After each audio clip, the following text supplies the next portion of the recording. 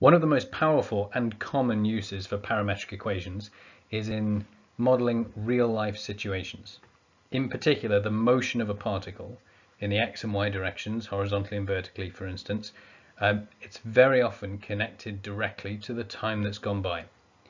And in many cases, like in this one, the expressions used for x and for y in terms of t are not necessarily functions that play well together. 5 plus ln t is a somewhat different language to 5 sine 2t. One is a trig function, one is a log graph. They don't necessarily behave well or simplify nicely. So if you're trying to combine x and y, it's possible, but it's not going to give you a particularly nice function to work with or to calculate from, and it won't give you much insight into the motion. However, in parametric form, we can start seeing things straight away.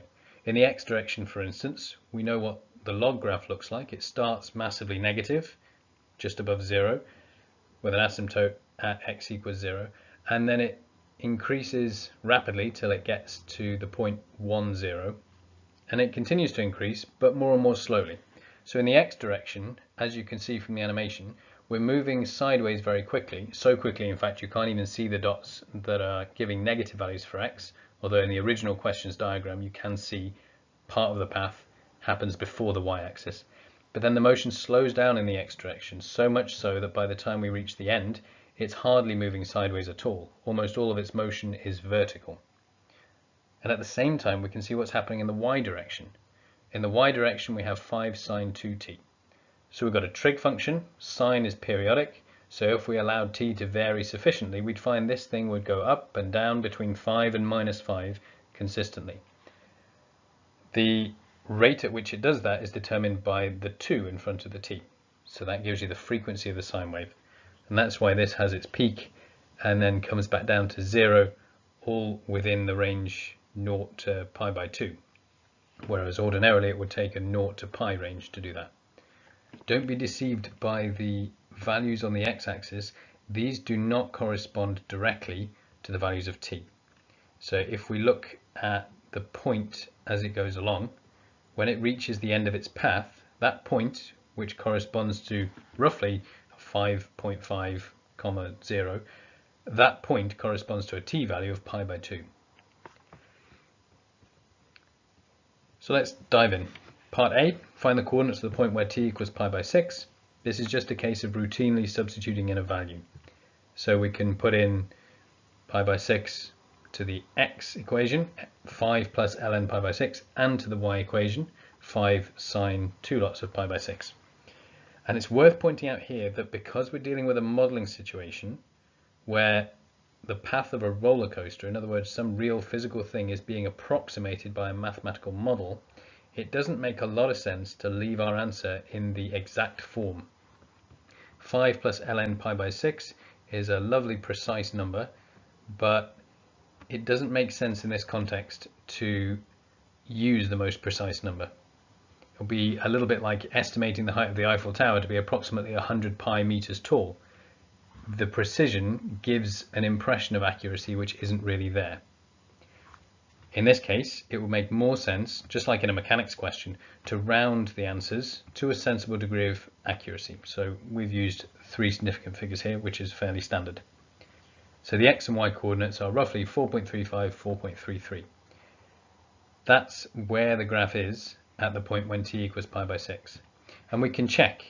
I've drawn this on so you can kind of see at which moments this is happening. But because pi by 6 is the value when sine will be giving root 3 over 2, in other words about 0.8 something, we're most of the way up to 5. You can see the point that we're dealing with here, somewhere around there. So it seems plausible, it fits with the graph, and you wouldn't even need necessarily to have a very precise idea of exactly where or when it happens, but the fact that that point appears to be somewhere on the curve, given that the curve goes as high as 5, getting an answer of 4 point something, 4 point something seems reasonable. For the next part, we're looking for the maximum height of the roller coaster, and there's a couple of things to be aware of here. They like to incorporate bits within the questions that require you to think specifically and consciously about the mathematical model You can't just skip over the stuff about the roller coaster and then ignore it and treat it as if it's just an ordinary parametric equations question. Much of the maths will be the same, that's true, but there will be details that you need to be cognizant of. In particular, in this case, one unit on the model represents five meters in real life. So when we get to an answer of five for the y coordinate, we need to convert that to a height of 25. Notice here, although the curve itself might be a complicated curve and would look pretty complicated if you wrote it in Cartesian form with just x's and y's, finding the maximum point does not require any calculus. The maximum point can be identified just by considering when is y as large as possible. And because of the type of function y is, you don't need to differentiate it to find out. y will be its largest when sine 2t equals 1, which gives y equals 5. And we're going to make use of that as well for the second part. To find the horizontal distance covered during the descent, we're going to need to know exactly where we are when we get to that highest point. Just knowing that we reach a height of 5 is not enough. We need to use that to work out what the value of t would be. And it turns out that's pi by 4. We can check that that's plausible. We had pi by 6, we've already marked on the graph. Pi by 4 is a bit bigger. Pi by 6 is 30 degrees, pi by 4 is 45. So we go a little further and we reach the top. That also seems consistent, plausible. But when we use that pi by 4, we can then go to the x equation that we're given and substitute that back in. That will give you the x coordinate. And you could check on the calculator if you like to see if that's plausible. If you do ln of pi by 4 and then add 5, we get 4.76. So it is further along than the t equals pi by 6 point which makes sense. More importantly, we need that x value in order to calculate the horizontal distance covered during the descent. Now the descent occurs from this point all the way down to this point. So we just need this distance here. And that distance can be calculated most easily by identifying the x coordinates at each end. So that's what I do. At the maximum height, we've got an x-coordinate of 5 plus ln pi by 2. At the end, we have an x-coordinate of 5 plus ln pi by 2. So 5 plus ln pi by 4 is the top, 5 plus ln pi by 2 is the end. So this point here is when t equals pi by 2, that's the extreme end of the range. And when you subtract one from the other, a couple of clever things happen. Firstly, the 5's cancel, because you're doing 5 in one bracket, you're taking away the 5 in the other bracket. But also we've got a bit of log rules which allows the pi's to cancel. ln of something minus ln of something else. We can invoke the log rule that says you can divide. If you've got two logs that are subtracted, you can convert it to a single log with the quotient of the terms inside. In other words, ln of pi by 2 over pi by 4. So a half divided by a quarter gives 2. So we get ln2, which is nice and elegant. But even though it's a nice exact answer and it looks nice, we still need to remember that this is a modeling question where the curve we're given is just an approximation for something in real life. So when we calculate the horizontal distance, not forgetting to multiply by 5 because one unit on the model represents 5 meters in real life. When we do that, we get 5 ln2. We then convert it again to three significant figures and that gives the total distance covered. You can check on the graph that ln2 is a plausible value, but then bear in mind when you multiply by 5 you'll get 3 point something, so your graph may look like an answer less than 1, but the actual distance is going to be more like 3. Compare that with a height of 25. That seems plausible. So you drop from a height of 25 and you cover 3.47 meters horizontally along the way. That seems to fit with the scale of the graph. The final bit is the average gradient of the descent. Now, if you're anything like me, you'll be thinking calculus again as soon as you see gradient, but this does not require calculus. The average gradient is actually a much simpler concept. This is more like the average speed. If I ask you for my average speed, um, when I drive to Scotland, it takes me 10 hours and I cover 500 miles, you don't need to know whether I was traveling faster or slower than 50 miles an hour at various points along the way. all you need is the total distance and the total time. And it's the same with this. You can think of this as being the gradient of the straight line. I'm not going to be able to draw a very good straight line here, but the gradient of the straight line between the top and the bottom. So imagine we link it with a segment, a line segment, and we find the gradient of that line. At some points along the way, like here, we're going to be less steep, and at some points, like here, it's going to be more steep. So sometimes we're not descending as quickly as the line predicts, and sometimes we're descending more quickly than the line predicts. But on average, because we end up in the same place, the average descent is the same. The other thing to watch out for that I made a mistake when I first did this was a negative sign. We drop 25 meters, we do it over the course of 5ln2 or 3.47 meters, but because we're dropping 25 meters, that needs to be a negative 25. So the gradient of descent is minus 7.21. When a space probe wants to get up speed, a very handy technique that's applied is a gravity assist or a slingshot maneuver. The idea is you fly close to a large body like Jupiter and you approach very quickly. You go whizzing past, you don't quite hit it, you swing past and the gravity of the planet pulls you round, changing your direction and flinging you off the other side faster than you came in. Um, now, in this context, we've got a slightly more simplified version, but the curve is still the same curve.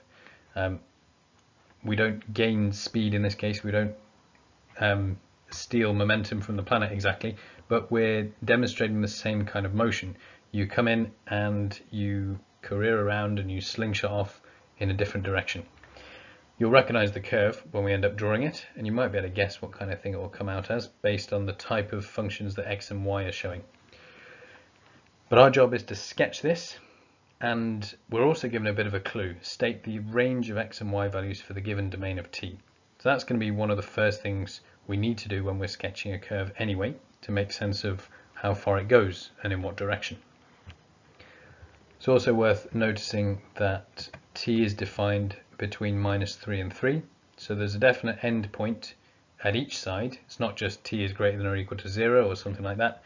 Um, so there will be an end and a beginning and we need to consider those points. Now it's tempting just to plug those numbers into x and y and find the endpoints in terms of x and y. And that's exactly what we're going to do. But before we do that, I want to emphasize that finding the endpoints is necessary but not sufficient. We need to do it, we need to know what's happening at the ends, but it's not enough to get a complete sense of what things do. If I glance out the window and see that my daughter is three meters away from the house, and then I come back in, do some maths and glance out the window again, find that she's five meters away from the house. That does not prove that she has been between three and five meters from the house the entire time. It's quite possible that she's wandered to the end of the road, stolen a daffodil and wandered back. So we need to look carefully at our curve to see if it's gone hunting for flowers along the way. In other words, we need to look for stationary points. If a curve goes away from its starting point and then has to return back to its finishing point, then it has to turn at some point. And it's the turn that we can identify by looking for stationary points. But let's start with the ends. Let's put the extreme values in. When t is negative 3, we get negative 3 squared add negative 3, giving 6. And y will be negative 3 squared minus negative 3, giving 12. Similarly, if t equals 3, we get x equals 12 and y equals 6. Now you might feel a little concerned about the fact that I've confidently given x and y values here, substituting in a value of t which it is clear from our inequality t is not allowed to be. The reason this is okay at this point is that we're identifying the boundaries or the extreme points. We are not claiming ownership of that point. This is a bit like marking the boundary line between your garden and someone else's, but you haven't decided who owns the fence yet. We know where the fence is and we're happy to talk about the fence. When we get to the final line, we're going to need to take that into account and decide whether or not we can take the value of 6 for x and the value of 12 for y or not. The next thing we look at, like we've said, are there any turning points? The easiest way to do it for this one is probably just completing the square, although feel free to use calculus if that seems more straightforward. The calculator will help you as well if you want to get minimum or maximum values for a quadratic function. That's pretty quick and easy with the calculator functions. We can see that x, which is this first one here, x takes a value of negative a quarter and it happens when t equals minus a half. And then y takes a value of negative a quarter as well that's the lowest it ever gets. And that happens when t equals positive a half. In other words, although x and y appear to vary between 6 and 12, along the way they drop as low as negative a quarter, both of them do. There's lots of nice symmetry in this one. Um, but we can give our final results for the range for x and the range for y. They'll look something like this. Now look closely and you'll see the inequality signs. Try to make sense of why they are what they are. First time I ran through this, I made a mistake with the inequality signs, so make sure you understand why these are correct. Firstly, x can get as high as 12, but not equal to 12. In other words, we can get as close to 12 as we like, but we can't actually take the value of 12. 12 is our maximum, but it's not a maximum we attain. That's another way of saying it. And similarly, y has a maximum value of 12, but it never attains its maximum. So we use a strict inequality sign at the top end. Now at the bottom end, you'll notice 6 has dropped off the radar.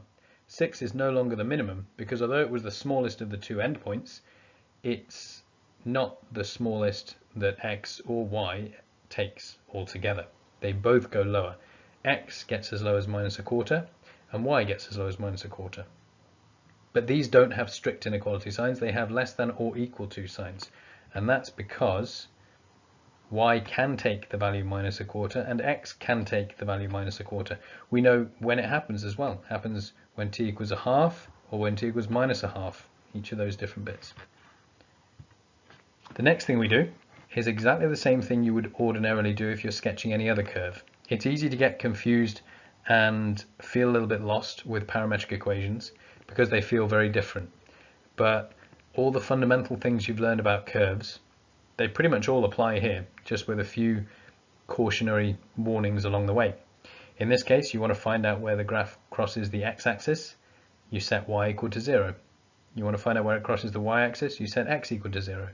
The only question that's different in here is how we deal with the results. When you set y equal to 0, you don't get an x value, you get a t value. But that's not a big problem. If I say what happens when y is 0 and find a t value, I can then substitute that t value into the x equation and get an x value. So that's what we do. If x is 0, we solve that little quadratic, we get 0 and negative 1 for t. Each of those corresponds to a different y value, so we get 0 and 2. There are two points where the x coordinate is 0. So these are the y-intercepts, the point 0, 0 and the point 0, 2. We can do the same thing for y, and predictably enough, we get some repetition because we had 0, 0 before. That's an x and a y-intercept. But there's a third intercept point as well that we haven't seen yet. That's the point 2, 0. Once you've got those roots, and you've got information about the minimum value for y and the minimum value for x, you know quite a lot about the function. The last thing to look at is the nature of the function. In other words, Another phrase that's used for this is the long-term behavior of the function. So for this, you can almost ignore the original domain you were given for t and just think about the functions in general. x is t squared add t. It's a positive quadratic. It starts high, ends high. The classic smiley face look. And y is t squared minus t. It's also a positive quadratic. It also starts with large positive numbers and ends with large positive numbers. We know they both dip as low as negative a quarter, but we know that they both start high and end high. So in the x direction, we're starting on the far right, and we come in until we get to minus a quarter in the x direction, and then we go back to the extreme right again. In the y direction, we start at the top. We come down as low as minus a quarter, and then we go back up until we disappear off towards the top. Now in our particular situation, we don't disappear. We don't come down from positive infinity and back up to positive infinity. We start at the point 612, or just beyond the point 612 if you like. if you want to be really particular about it, you can put a little hollow circle at the point 612, just like you would in a graphical representation of a linear inequality at GCSE. We have the point 612 as the boundary, but it's not a boundary you can attain. So this is what our graph should look like. You probably recognize that one. It's a close cousin of your tried and trusted friend, the y equals x squared graph. But a couple of little things have happened to it. The details of how we convert a y equals x squared graph into this particular graph, which is still a quadratic, just has a slightly messier equation, um, the details of that you'll get into if you do further maths. When we look at matrix transformations, they're a sophisticated way to convert one function or curve or picture into another one by a series of distortions, stretches, rotations, reflections, all the standard things you might naturally do to a shape. We have a mathematical way of applying a rule that does that for us. That's how I generated these equations in the first place, actually. And if you look closely, hopefully you'll recognize this as a 45 degree clockwise rotation from a more normal looking y equals x squared type graph. It's also had a bit of a stretch applied to make the numbers nicer. You can identify the endpoints on here. We have the point 612 as our starting point, and we have the point 12, 6, that's our end point. And your exam board, if you're Edexcel, it's not too picky about exactly how you mark those endpoints, but if you want it to be thorough, because we don't include them, you might want to put a little circle at the end, a hollow circle to represent the fact that we have this point as our extreme point, but it's a point that we never quite reach. We don't attain that point. So we come down from here, we shoot off in this direction, and we hit the y-axis where we expected at the 0, 2. We have our minimum in the x direction, minus a quarter. That happens when t equals minus a half. If you want to know what the y value is, you'd have to solve t squared minus t equals minus a half to get the y coordinate of that. One of the things to be careful of here is that every point on the curve has an x coordinate, a y coordinate, and a t value. So the moment in time when it happened is a nice way to think of that. So take care if you're thinking of a t value with an x coordinate, it's not the same as an x coordinate and a y coordinate. All the key points we saw are represented on there, and the graph continues on until it finishes at the extreme end. And that's the slingshot maneuver.